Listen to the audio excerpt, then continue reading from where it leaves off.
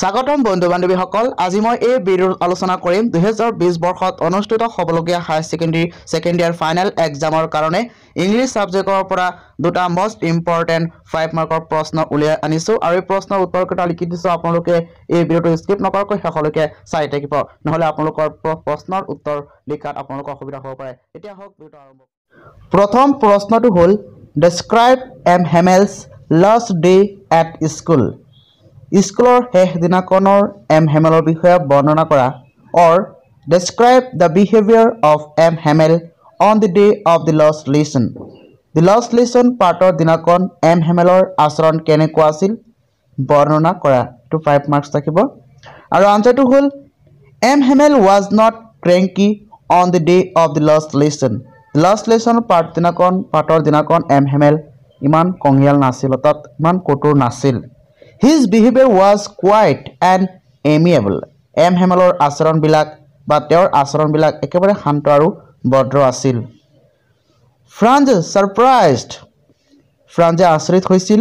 When he came to school very late M হেমেলে যেতিয়া তেওঁ বহু পলমকৈ স্কুলত আহিছিল অন দি ডে সেইদিনাখন ইনষ্টিট অফ মানে পৰিৱৰ্তে স্কল্ড হিম গালি গালাজ কৰাৰ পৰিৱৰ্তে his teacher M Hamel very kindly told him পৰ নম্ৰভাৱে ভদ্ৰভাৱে তেওঁক কৈছিল গ' টু হিজ ছিট তেওঁৰ আসন গ্ৰহণ কৰিবলৈ তাত তেওঁক বহিবলৈ কৈছিলে বা বহিবলৈ যাবলৈ কৈছিল। He was of mild behaviour তেওঁ একেবাৰে মাইল্ড বিহেভিয়াৰ আছিল একেবাৰে ভদ্ৰভাৱে আছিলে। ফ্ৰান্স কুড নট ৰিচাইড ফ্ৰান্সে ক'ব পৰা নাছিল নাইবা আবৃত্তি কৰিব পৰা নাছিল। দি ৰুল অফ পাৰ্টিচিপলছ মানে পাৰ্টিচিপলৰ যিবিলাক নিয়ম আছে সেই নিয়মবিলাক আবৃত্তি কৰিব পৰা নাছিল বা ক'ব পৰা নাছিল। But the teacher M Hamel কিন্তু শিক্ষকে শিক্ষক যিজন এম হেমেল নাম এম হেমেলে ডিড নট স্কল হিম তেওঁক গালি পৰা নাছিলে। We found M Hamel was আমি এম হেমেলক পাইছোঁ চিনচিয়াৰ মানে চিনচিয়াৰ বুলি আমি চিনচিয়াৰ বুলি পাইছোঁ একেবাৰে on the day of the last lesson মানে লাষ্ট লেচন পাৰ্ট দিনাখন। তেওঁকে তেওঁ চিনচিয়াৰ বুলি আমি পাইছোঁ। দাও হি ফাইল্ড চৰি যদিও তেওঁ দুখী অনুভৱ কৰিছিলে he took many classes with great attention and interested তেওঁ একেবাৰে মহান এটেনশ্যন মানে মনোযোগেৰে আৰু আগ্ৰহেৰে তেওঁক বহুতো ক্লাছ লৈছিলে। দুখী দুখী যদিও তেওঁ দুখী হৈছিলে যদিও তেওঁ বহুতো ক্লাছবিলাক তেওঁ মনোযোগেৰে ক্লাছবোৰ লৈছিলে। Then M Hamel's justified all the situation on the day of the last lesson the last lesson পাৰ্টৰ দিনাখন প্ৰত্যেকটো চিটুৱেশ্যনবিলাক তেওঁ জাষ্টিফাই কৰিছিলে পৰীক্ষণ নিৰীক্ষণ কৰিছিলে হি এক্সপ্লেইনছ তেওঁ ব্যাখ্যা কৰিছিল the nature of the people of Alsace and Lorraine Lorraine আৰু আলচাকৰ মানুহৰ মানে কেনেকুৱা ধৰণৰ নেচাৰ আছে সেইবিলাক তেওঁ ব্যাখ্যা কৰিছিলে হি গিভছ ৰিজনছ তেওঁ কাৰণ দিছিলে ফৰ ফ্ৰান্স ফ্ৰান্সৰ কাৰণে। ইন এবিলিটি টু ৰিড তেওঁ পঢ়াৰ অসমৰ্থতাৰ কাৰণে। অৰ ৰাইট দিয়াৰ মাদাৰ টংগু সিহঁতৰ মাতৃভাষাটো লিখিব নোৱাৰাৰ কাৰণে। অল দিজ হেভ শ্বুড সকলোৱে দেখুৱাই যে that M. Hamel's nature was impartial and attitude was good enough. M হেমেলৰ নেচাৰবিলাক ইম্পাৰ্টিয়েল আছিল আৰু তেওঁৰ মনোভাৱটো ভাল আছিলে। গুড এনাফ ভাল আছিলে। দাস গতিকে on the day of the last lesson the last lesson পাৰ্টৰ দিনাখন হিজ বিহেভিয়াৰ ৱাজ কোৱাইট তেওঁৰ আচৰণবিলাক শান্ত এণ্ড এমিয়েবল ভদ্ৰ।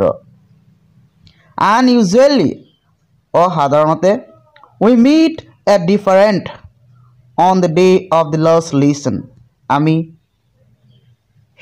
দি লাষ্ট লেচন পাৰ্টৰ দিনাখন আমি এম হেমেলক বেলেগ ধৰণে আমি পাইছোঁ। আৰু দ্বিতীয় প্ৰশ্নটো আমি এতিয়া আলোচনা কৰিম আৰম্ভ কৰোঁ। দুই নম্বৰ প্ৰশ্নটো হ'ল draw' a brief character sketch of M Hamel M হেমেলৰ চৰিত্ৰটোৰ বিষয়ে বৰ্ণনা কৰা নাইবা এটা দৃশ্য দেখুওৱা। আনচাৰটো হ'ল M Hamel was cranky M Hamel বৰ কঙিয়াল আছিল। একেবাৰে কটুৰ আছিল। The students were very much afraid of his strict ruler যে স্কুলৰ ছাত্ৰ ছাত্ৰীসকলে তেওঁৰ কটুৰ নিয়মবিলাক ভয়ৰ ভয় কৰিছিল। বাট কিন্তু on the day of the last lesson কিন্তু দি লাষ্ট লেচনৰ দিনাখন M Hamel was found quiet and amiable M Hamel অক পোৱা গৈছিল শান্ত আৰু পত্ৰ he did not scold little Franz for being late যে লিটিল ফ্ৰান্সে বহুত পলম কৰাৰ কাৰণে তেওঁক ঘালি পৰা নাছিল। হি ডিড নট ব্লেম তেওঁ দোষী সাব্যস্ত কৰা নাছিল। হিজ ষ্টুডেণ্টছ তেওঁৰ ছাত্ৰ ছাত্ৰীবোৰক ফৰ দেয়াৰ ইন এবিলিটি অসমৰ্থতাৰ কাৰণে টু ৰিড অৰ ৰাইট লিখিব আৰু পঢ়িব নোৱাৰাৰ অসমৰ্থতাৰ কাৰণে দেয়াৰ মাদাৰ টুংগু সিহঁতৰ মাতৃভাষাটো। M Hamel accepted his mistakes M হেমেলে তেওঁৰ ভুলবিলাক গ্ৰহণ কৰিছিল। উইদাউট এনি হিচিটেশ্যন কোনো ধৰণৰ দোষী সাব্যস্ত নকৰাকৈ কোনো ধৰণৰ চিন্তা চৰ্চা নকৰাকৈ হি কনফিউজড তেওঁ স্বীকাৰ কৰিছিল হিজ ফাল্ট তেওঁৰ দোষবিলাক। ফৰ এক্সাম্পল ডেট উদাহৰণস্বৰূপে যে এম হেমেল গেইভ এম হেমেলক দিছিল দি ষ্টুডেণ্টছ ছাত্ৰ ছাত্ৰীবোৰক এ হলিডে এখন বন্ধ দিছিল। হোৱেন হি ৱান্টেড যেতিয়া তেওঁ বিচাৰিছিল টু গ' ফৰ ফিচিং যেতিয়া তেওঁ মাছ মাৰিবলৈ যাব বিচাৰিছিল। হি বিজি হিজ ষ্টুডেণ্টছ তেওঁ ছাত্ৰ ছাত্ৰীবোৰক লৈ পেলাই ব্যস্ত আছিলে। Then to water his flower garden তেওঁৰ ফুলৰ বাগিচাত পানী দিয়াত ব্যস্ত আছিল। অল দিজ হেভ শ্ব'ড এই সকলোৱে দেখুৱায় যে হিজ ইনচিনচিয়াৰিটি তেওঁৰ মানে আগ্ৰহ নথকাটো চিনচিয়াৰ নথকাটো বাট এম হেমেল কনফিউজড কিন্তু এম হেমেলে স্বীকাৰ কৰিছিল। হি ৱাজ এ পেট্ৰিষ্ট তেওঁ এজন পেট্ৰিষ্ট আছিল a true lover of these of the French language French ভাষাৰ এজন সত্য বা উকিল আছিল। হি ইনকাৰেজড তেওঁ দুঃসাহস কৰিছিল। দ্য পিপুল অফ আলচাক যে এণ্ড লৰেইন যে আলচাক আৰু লৰেইনৰ মানুহক মানুহক হক ইনকাৰেজ কৰিছিল। To guard their mother tongue সিহঁতৰ মাতৃভাষাটো ৰক্ষা কৰিবলৈ। টু বিকাম ফ্ৰী আৰু মুক্ত হ'বলৈ from slavery and foreign rule বিদেশী ভাষা বিদেশীৰ শাসন আৰু স্লেভাৰীৰ পৰা মুক্ত হ'বলৈ তেওঁ দুঃসাহস কৰিছিল।